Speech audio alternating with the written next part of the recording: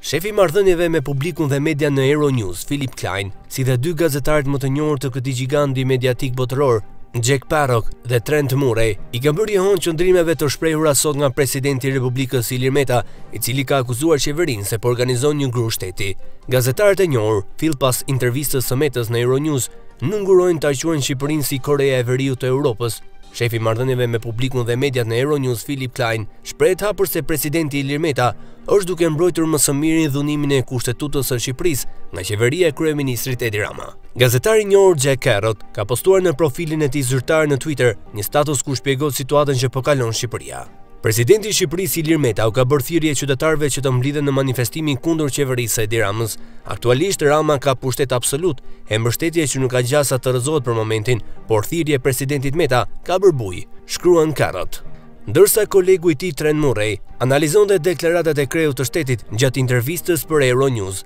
Ai vë në dukje deklaratat e forta të presidentit Meta gjatë intervistës, duke bërë krahasimin e Shqipërisë me Korenë e Veriut. Një gjuhë shumë interesante, shumë shqiptarë flasin për Korenë e Veriut të Europës, duke iu referuar madje dhe periudhës së regjimit diktatorial të Enver Hoxhës.